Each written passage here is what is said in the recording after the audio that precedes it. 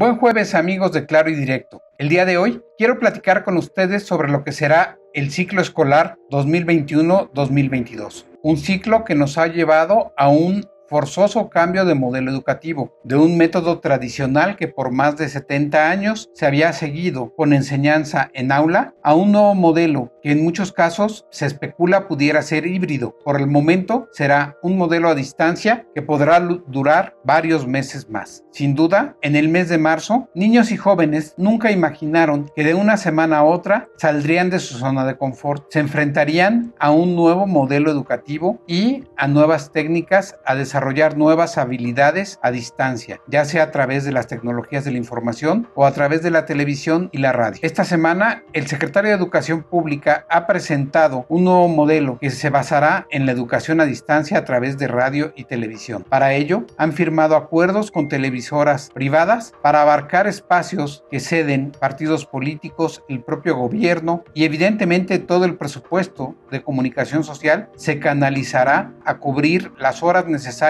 para que niños y jóvenes puedan tomar su educación a distancia. Sin duda, el personal docente, padres de familia y los propios niños y jóvenes tendremos que ser resilientes para encontrar la mejor forma de sacar adelante nuevas habilidades, para aprender al uso de las tecnologías de la información y para enfrentarnos a este nuevo modelo que nos sacó de nuestra zona de confort y que nos lleva a buscar lo mejor de cada uno y a que nosotros como padres de familia orientemos a nuestros hijos a sacar lo mejor de cada uno en el desarrollo de habilidades, en el uso de la computadora, en la búsqueda de información a través de las, del Internet, a través de las tecnologías de la información. En fin, sin duda todo un gran reto que habremos de enfrentar en las próximas semanas y meses. Si para el mes de enero o febrero podemos emigrar a un sistema híbrido, como bien lo dicen, que conjugue la parte presencial y la parte a distancia, quizás fortalecerá el aprendizaje de los niños y jóvenes. Sin embargo, en este momento y ante la realidad que vivimos, debemos estar preparados para